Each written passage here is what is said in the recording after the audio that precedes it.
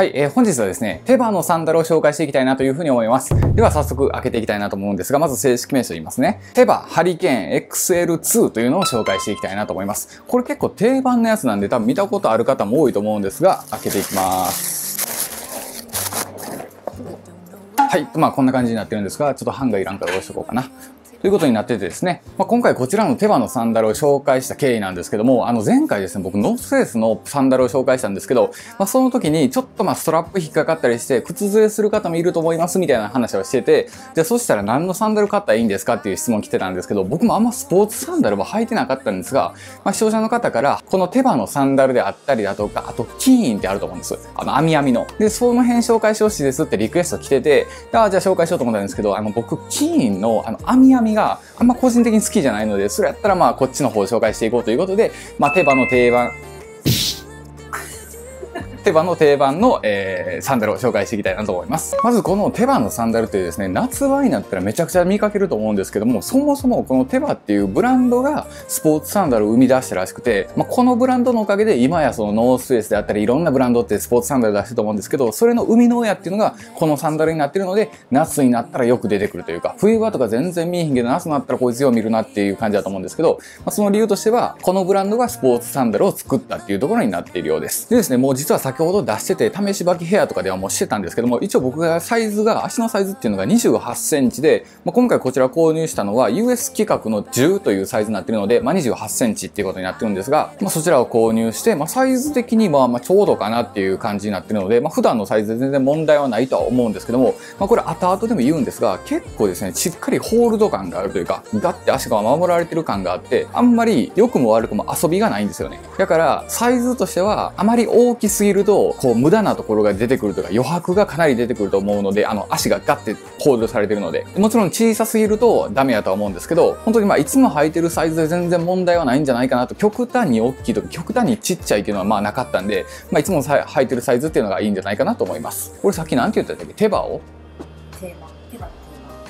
えではですね、着脱方法なんですけど、まあ、着脱方法は、あの、まあ、至ってシンプルで、まあ、スポーツサンダルなんで、ここから足ポイーンって入れて、で、こういう感じで履くっていう流れになってるので、まあ、この辺は普通のスポーツサンダルというか、まあまあ元祖なんで、あの、まあ、これが定番の形かなとは思うんですが、これもともとスポーツサンダルができた理由っていうのが、あの、リバーガイドっていう、あの、要は川下りのスポーツってあるじゃないですか。川をこう下っていく、まあ、危ないような感じのスポーツあると思うんですけど、あれのインストラクターの人が、それまでってビーチサンダルみたいなの履いたりとか、あとスニーカー履いたりしてたらしいんですけど、ビーチサンダルやったら歩きづらいし、で、スニーカーやったら濡れるしっていうので、なんかちょうどいいのないかなっていうので、その人が開発したのがこのスポーツサンダルになってるので、水場でも使えたりとか、で、逆にちゃんとホールド感もあるっていうところになってて、開発されてるっていうことにはなっているようなんで、まあ僕も今回調べてて、あ、だからしっかりホールド感とかあんねんなっていう感じにはなってたんですけども、まあそういった背景があって生まれたサンダルのようです。で、次がですね、こちらの履き心地っていうことなんですけども、履き心地がですね、まあパッて足通したら、よくサンダルでも、こうなんていうんですかね、凹凸のないサンダルというか、こうペターとなってるビーチサンダルみたいなソールのサンダルって、あれってもちろん履き心地悪いじゃないですか。だから、履いてて疲れるとかってあると思うんですけど、まあ、こういうサンダルって、そのある程度はこう、なんていうんですかね、その川下りとかで使うように考えられてたりするので、こういう土踏まずのとこがこうギュッと盛り上がってたりとかするっていうところはあるので、まあ、履き心地としては本当に人間の足の形にぴったりはまってるなっていう感じになってて、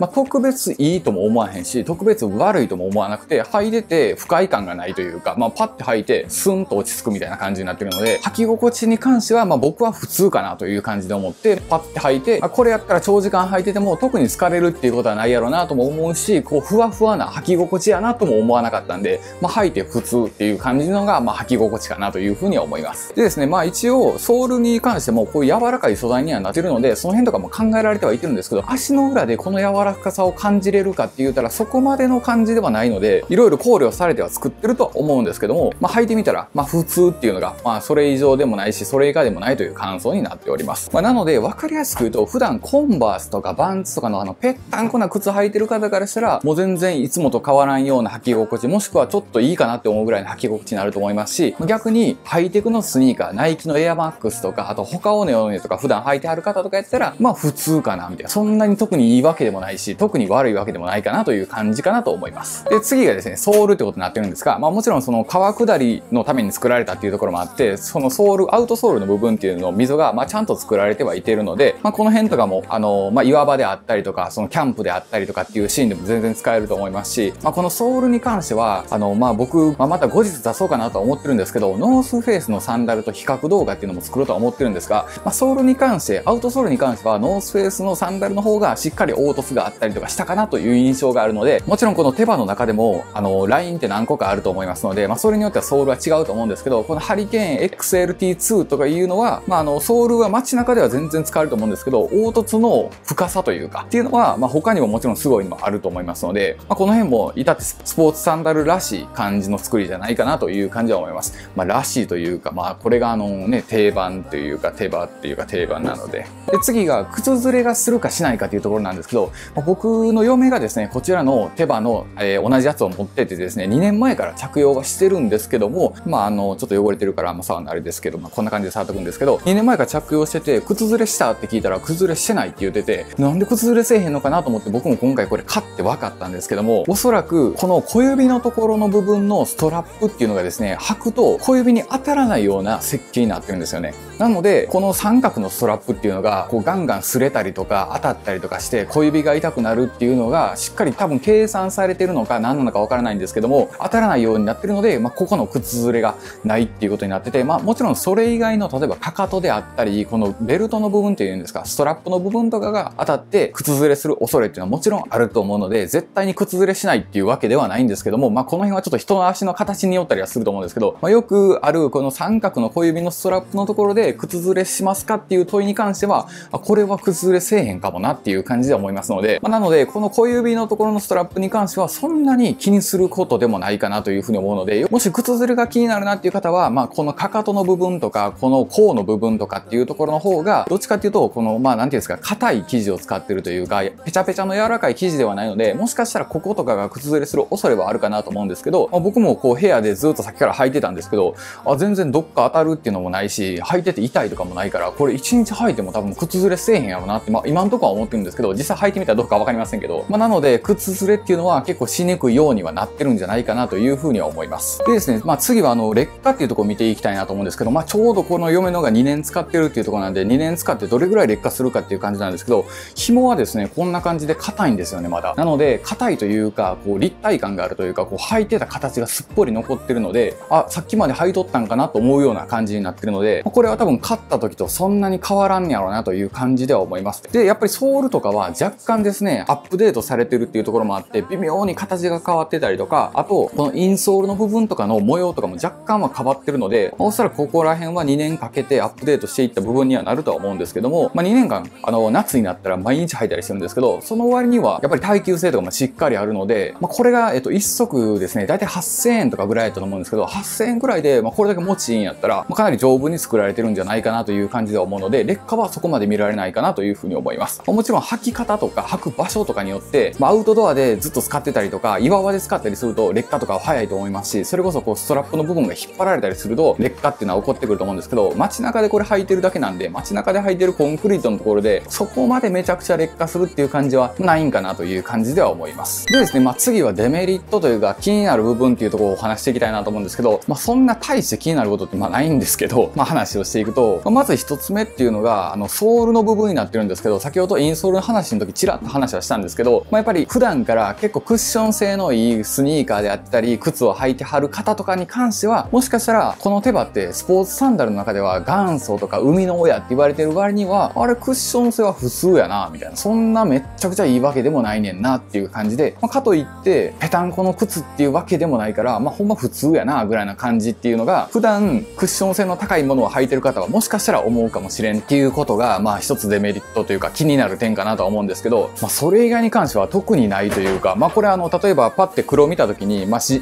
味とかシンプルとか、こう特徴がないって思う方もいらっしゃると思うので、まあそういう方はこのストラップが派手なカラーのタイプとか、あと模様のタイプとかもあるので、まあそういうのが好きな方はそういうタイプのカラーを選べばいいと思いますし、あとまあシンプルに行きたい方やったらこういう手羽の定番、手羽の定番、手羽の定番。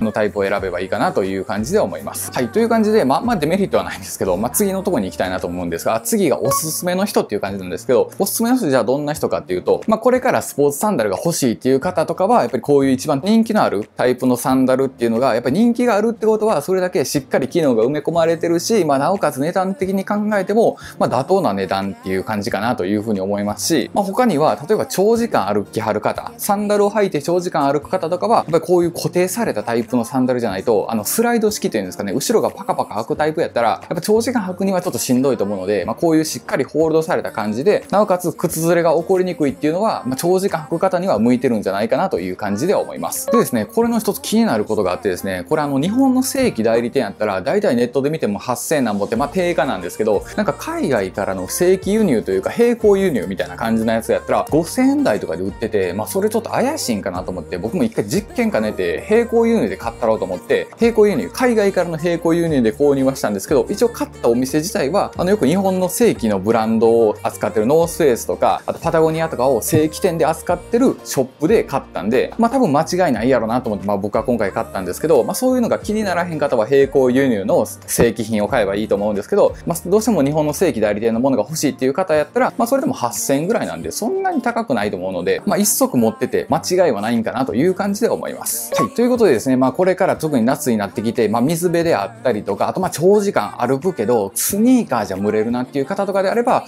まあ、こういうサンダルは一足持っておくと、まあ使い回しもできると思いますし、あとまあそれこそですね、こういうのって結構女性も好きな方とか多いと思うので、まあ夫婦で一緒に履いたりとか、あとまあカップルで一緒に履いたりとかするっていうのもまあできたりとかすると思うので、まあおそらく僕もこれ嫁が持ってるので、一緒に履こうっていうふうに言われると思いますので、まあこれから一緒に履いていくんかなというふうには思います。はい。ということになってますので、本日はですね、テバのハリケーン XLT2 を紹介してみたという動画になってます。また別動画でお会いしましょう。ありがとうございました。